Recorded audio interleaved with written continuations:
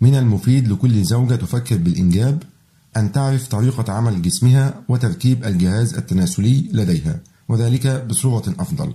وأن تتعرف على كيفية حدوث الحمل بداية من العلاقة الحميمة مرورا بعملية تكوين البويضة ورحلة الحيوان المنوي عبر قناة المهبل حتى يتكون الجنين.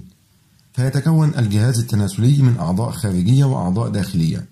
الأعضاء الخارجية التي لها دور في حماية الجهاز التناسلي من الكائنات الحية المسببة للأمراض وتمكين الحيوانات المنوية من الدخول إلى الجسم. الأعضاء الداخلية تتكون من المهبل وهي قناة تتصل بعنق الرحم.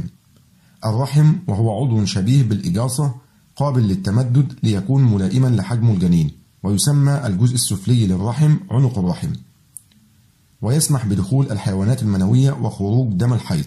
وتمتلك الأنثى زوج من المبايض وهي غدد بيضاوية الشكل على جانبي الرحم تنتج البويضات والهرمونات الجنسية.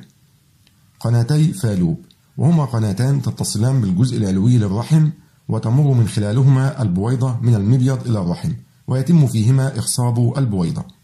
تعيش الحيوانات المنوية لمدة تتراوح بين ثلاث إلى خمس أيام. بينما تعيش البويضة من 12 إلى 24 ساعة. ولزيادة احتمال حدوث الحمل لابد من حدوث العلاقة الحميمة بين الزوجين وهذا في اليومين اللذين يسبقا يوم الإباضة. وفي يوم الإباضة أيضا وذلك لضمان وجود حيوانات منوية في قناة فالوب وقت خروج البويضة من المبيض. إذا كانت الدورة الشهرية منتظمة وتحدث كل 28 يوما فيكون موعد الإباضة هو اليوم الرابع عشر من أول يوم لنزول دم الحيض. أما إذا كانت الدورة غير منتظمة فربما تجد بعض السيدات صعوبة في تحديد موعد الإباضة. لذلك من المفيد لمن ترغب بالإنجاب أن تبدأ بمراقبة دورتها الشهرية لدورتين متتاليتين. ومن علامات حدوث الإباضة والواجب عليك أن تنتبهي إليها زيادة في الإفرازات المهبلية التي تكون سائلة ورطبة بلون بياض البيض. وجود ارتفاع بسيط في درجة حرارة الجسم ما بين 1 إلى 1.4 درجة مئوية.